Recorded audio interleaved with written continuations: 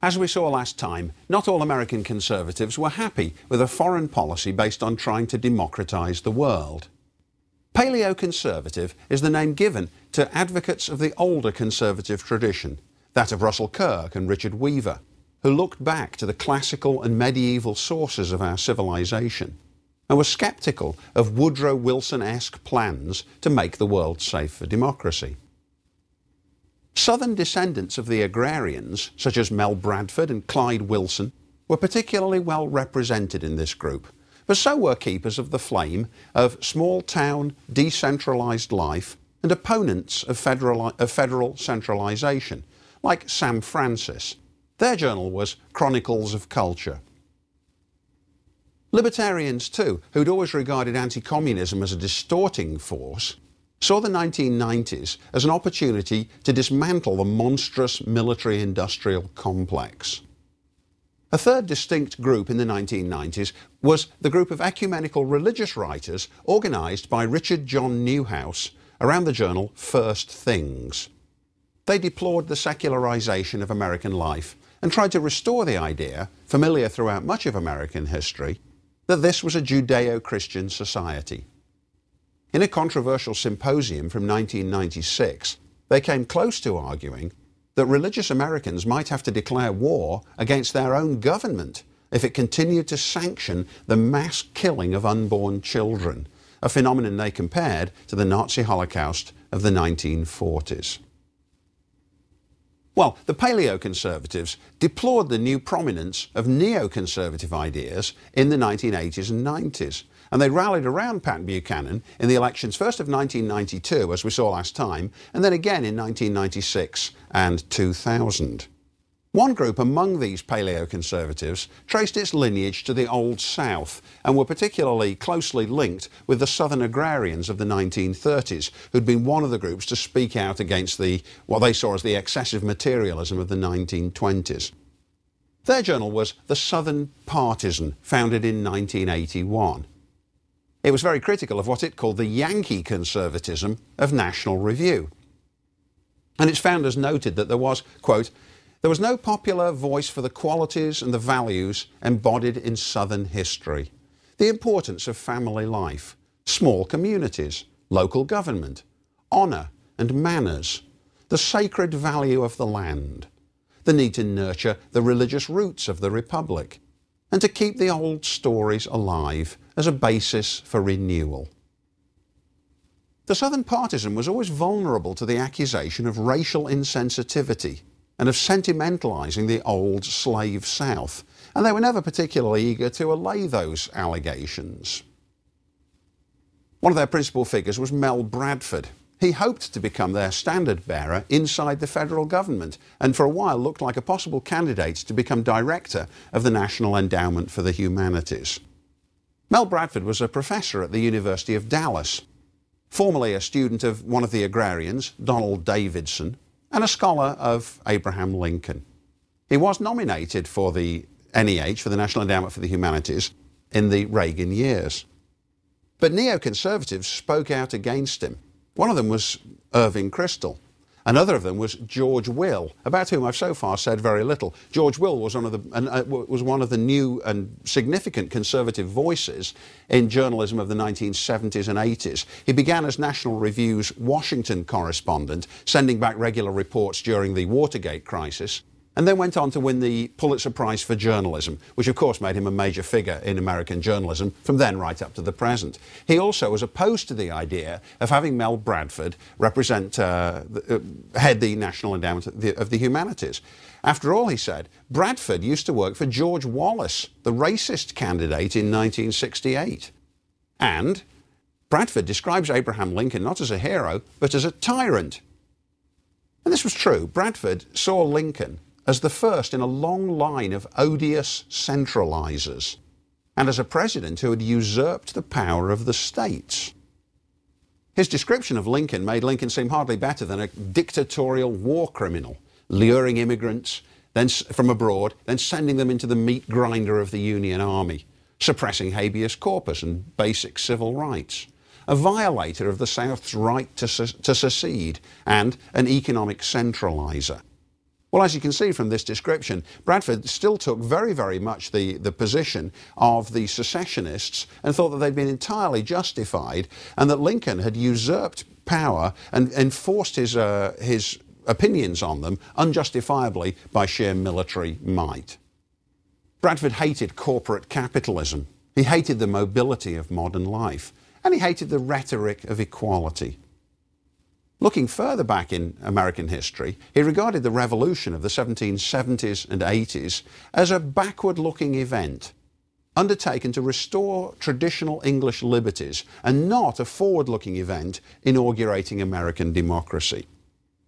Bradford wrote, Nothing could be more natural than that once we lost one Constitution and Bill of Rights through revolution, an act based on elaborate constitutional arguments, we established another constitution and another Bill of Rights, or rather, several of both, as soon as possible. There is no way of understanding the origins of our fundamental law apart from 18th century English constitutionalism, than which there is no doctrine more conservative. In his view, a deliberate or possibly an accidental misreading of this tradition had distorted it in favour of democracy and in favour of equality. This far reaching change, he said, based on a misunderstanding of our heritage from the Declaration of Independence and from the Christian promise that grace is available to all, threatens to swallow up our reverence for law, responsible character, moral principle, and inherited prescription.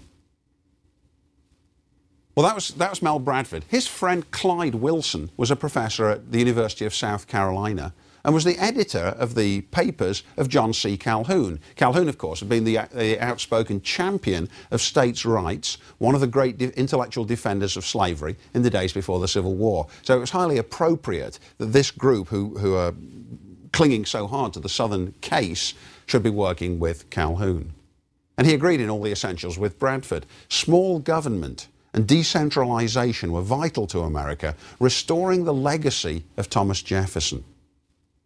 He agreed that citizens had exchanged virtue, central for uh, a republic, for luxury.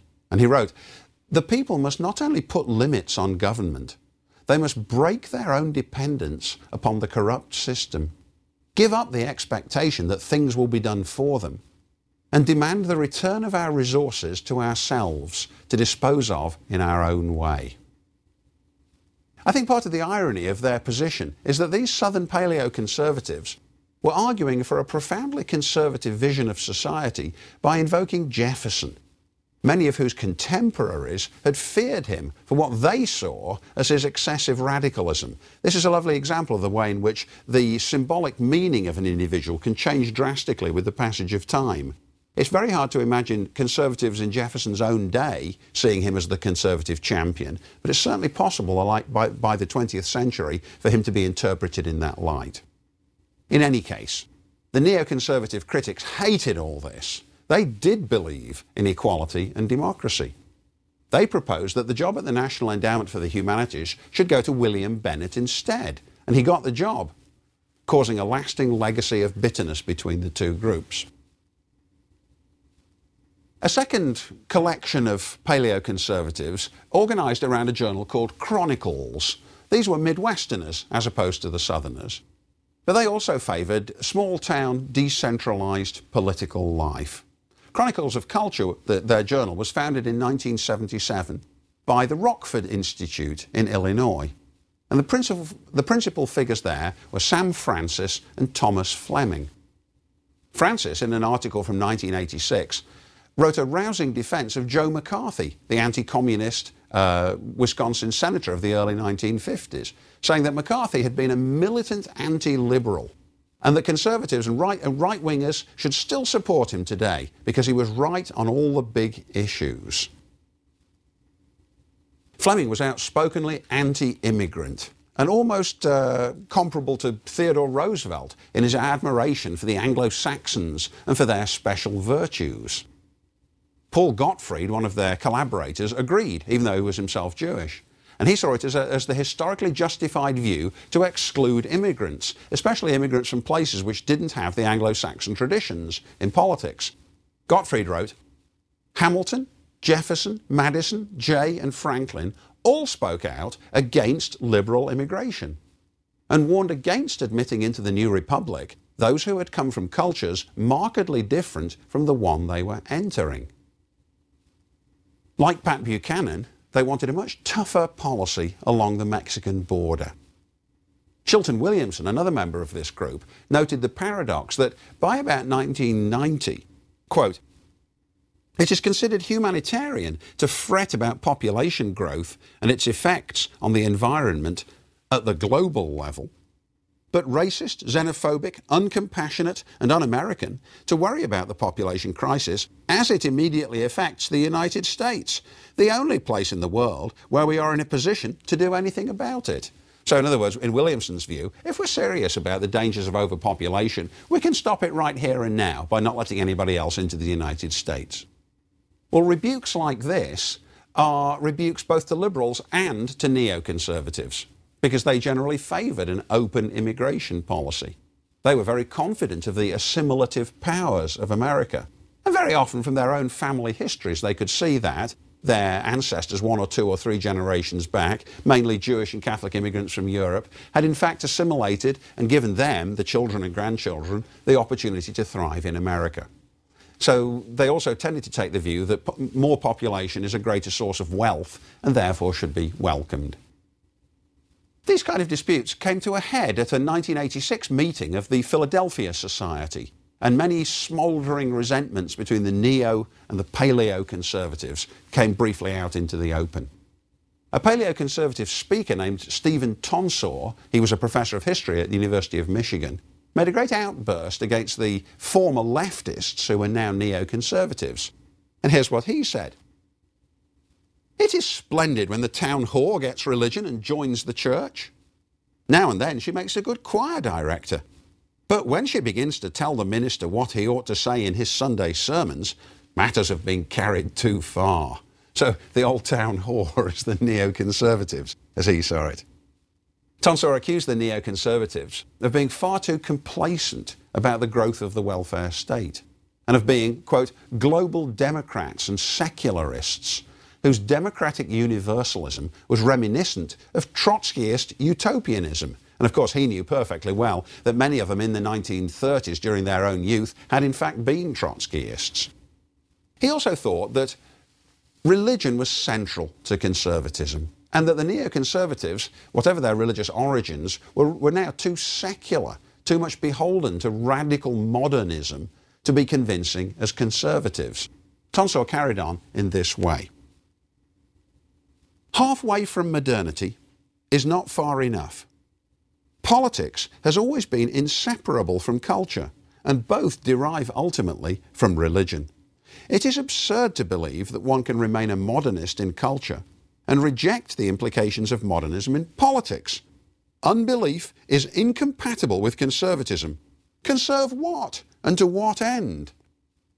Well, that's an unusual point of view. The claim that you really can't be conservative if you're not religious. Not many others in any part of the movement were willing to go to, the, to that uh, position with Stephen Tonsor. Libertarians, another conservative grouping, saw the end of the Cold War as an opportunity to revive their fortunes and to begin dismantling the great warfare state, the military industrial complex. Murray Rothbard had been discouraged by the Libertarian Party's inability to attract voters, and he hoped that now it was going to be possible to improve its image by making an alliance with other conservative groups. The problem for the Libertarians was that during the 1960s, they'd periodically had alliances with parts of the New Left. I mentioned this previously, that for a while the anarcho-capitalists had had a, a, a meeting of minds with the anarcho-syndicalists, and it was the extreme left and the extreme right, because they both agreed over the tyranny of the American government in the Vietnam War and in compelling people to join the army in the draft. And the libertarians had never entirely been able to shake the hippie associations that some libertarians had certainly had in the 1960s. It was a constant struggle for them to be respectable. At a meeting in 1989 at Rockford, libertarians and paleoconservatives together founded another new grouping, the John Randolph Club, that is, naming themselves after the, the uh, defender of Southern tradition, John Randolph of Roanoke, whose work we investigated much earlier in this course. Llewellyn Rockwell of the Ludwig von Mises Center at the University of Alabama, or of Auburn University, I should say, combined libertarian economic ideas with cultural conservatism and sympathized with Rothbard's general outlook. So, although uh, on the face of it, uh, traditionalists and libertarians still had differences, they could understand the benefits of, of uniting, particularly because they all understood that the two party electoral system in the United States strongly disfavours third parties. And that if you want to be serious about ever mounting a, a, campaign, you've got to build up alliances rather than have the constant fragmentation, which is the, always the temptation among people who are looking for ideological purity. Libertarians remained very active in politics in the 1990s and into the new century, and occasionally they influenced Republican policy questions. But their profound hostility to the modern state made them marginal from centres of power and influence. Even somebody like President Reagan, despite his intention of beginning to break down the, the great state, had actually proved unable to do it. Once bureaucracies exist, they fight very tenaciously indeed to retain their existence. And politicians will hardly ever risk exhausting themselves and making themselves unpopular in the act of trying to get rid of them. So they tend to stay once they're there. And libertarians more and more um, had to struggle against the imputation that they were simply utopian in their idea that the, the government could shrink. Another group, different again, was the theoconservatives. These were religious intellectuals with a more cerebral approach to politics than that of the new Christian right. And they became more influential in the 1990s because really of the work of one man, Richard John Neuhaus. As I mentioned previously, after the evangelical scandals of the late 80s, the events uh, surrounding Jimmy Swaggart and Jim and Tammy Bakker, the moral majority had shut down in 1989, but Ralph Reed's Christian Coalition took over working hard to build uh, grassroots constituencies and to run their candidates very hard at the level of school boards and local city, city and county governments. The problem was that it was intellectually a bit thin. They were interested in the work of Francis Schaeffer. Many of them were enthusiastic about C.S. Lewis, and they were great readers of Bibles. But it seemed as though many of their members were more interested in, more interested in banning sexy books from libraries than they were in reading good ones. Now, in order to understand the next anecdote, I must remind you that Al Gore's wife, Tipper Gore, was herself involved in a movement towards library censorship or labelling materials which might be uh, troublesome to children.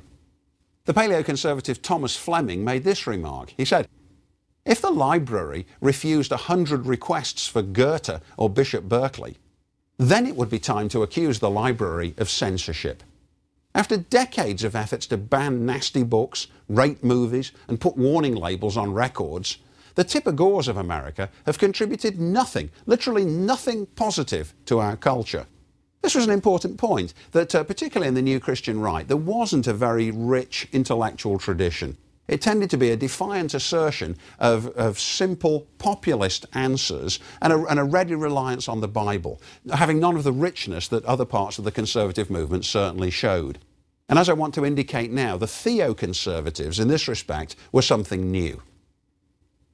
Now, Catholics had always played a prominent role in the conservative movement since World War II, and I've given many examples of that people like William Buckley Jr. himself, uh, uh, whose Catholic faith was very, very serious to him his brother in law Brent Bozell, Michael Novak, who wrote The Rise of the Unmeltable Ethnics and The Spirit of Democratic Capitalism, Russell Kirk and Jeffrey Hart, both of whom were converts, and many others. There's a prominent Catholic role in the movement. And now they were about to acquire a powerful new ally. Richard Neuhaus was a former radical. In the 1960s, he'd been a, an outspoken opponent of the Vietnam War. He was a Lutheran minister. But in the 1980s, he published two influential books on religion and politics, uh, showing that his, his thinking was changing. The first one was called The Naked Public Square from 1984, and the second one was called The Catholic Moment from 1987. The first of these books was a lament at the excessive secularization of the United States. Neuhaus said the First Amendment was never meant to exclude religion from public life. It was written only to prevent any one church from becoming dominant over all the other Christians. But, he said, recent Supreme Court decisions have now forced Christianity out of public life while authorizing hedonism and permissive sexuality. Liberal democracy is in danger if there are no fundamental points of agreement, and if religion, which asks questions of ultimate concern, is no longer allowed to participate. Here's a passage from his book, The Naked Public Square. The case can be made that the great social and political devastations of our century have been perpetrated by regimes of militant secularism, notably those of Hitler, Stalin, and Mao. That is true, and it suggests that the naked public square is a dangerous place. When religious transcendence is excluded, when the public square has been swept clean of divisive sectarianisms, the space is opened to seven demons aspiring to transcendent authority. Our question can certainly not be the old one of whether religion and politics should be mixed. They inescapably do mix, like it or not. The question is whether we can devise forms for that interaction which can revive rather than destroy the liberal democracy that is required by a society, by a society that would be pluralistic and free. In The Catholic Moment, the second of these books, he argued that the Catholic Church, because of its rich intellectual heritage, was ideally equipped to address all these questions, especially in the age of Pope John Paul II, the Polish figure who, around whom anti-communist Christians had rallied, and particularly after the Second Vatican Council of the 1960s, which had purged the Catholic Church of much of its old intolerance. Neuhaus said, Catholicism, better than any other church, has a beautiful balance of reason and revelation. It has a long tradition of natural law teaching, which certainly appeals most deeply to people of faith, but is also explicable to people whatever their metaphysical views. It has a, a complicated and very well worked out theory relating to just war. And the papal encyclical letters, the letters of advice um, written extensively over the last century on the crucial issues of our time, have built up a, a fund of wisdom which can be used to good effect by all conservatives. Well, it might seem unusual that a Lutheran minister should write so enthusiastically about Catholicism, but perhaps he resolved the paradox by himself converting to Catholicism and almost at once training and taking the vows of and becoming a Catholic priest. Neuhaus had long been a celibate, even as a Lutheran, and so this transition was relatively straightforward. It would have been more complicated had he been married, as Lutheran clergy are entitled to be. After separating from the Rockford Institute, he founded First Things in 1990. In the 80s, his Centre on Religion and Society, uh, found, uh, set in New York, had been funded by the Rockford Institute, which also ran Chronicles. But Neuhaus himself didn't like Chronicles. Particularly, he didn't like its xenophobic attitude to foreigners, to immigrants. And, it, and he didn't like its vulnerability to charges of anti Semitism.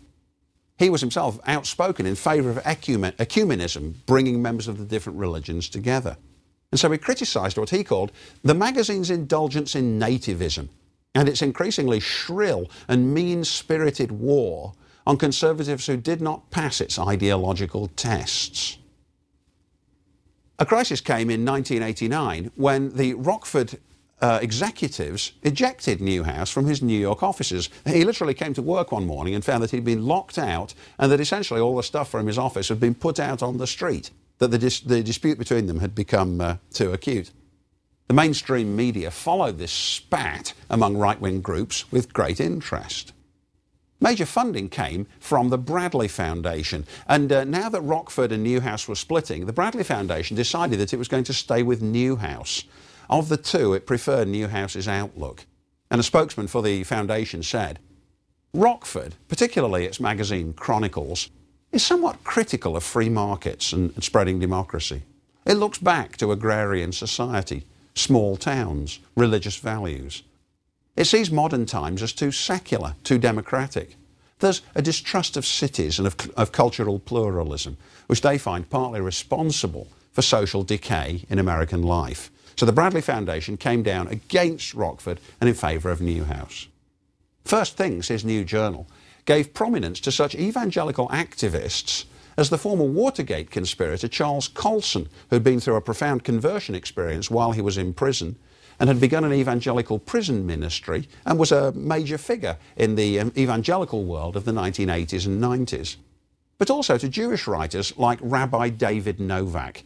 It was, it was central to Neuhaus's position that all the members of the Judeo Christian churches could collaborate and that the things they held together in common easily outweighed the things that kept them apart. He agreed with the Christian coalition that the defeat of communism was only half the battle and that they also had to overcome decadence and immorality inside America itself.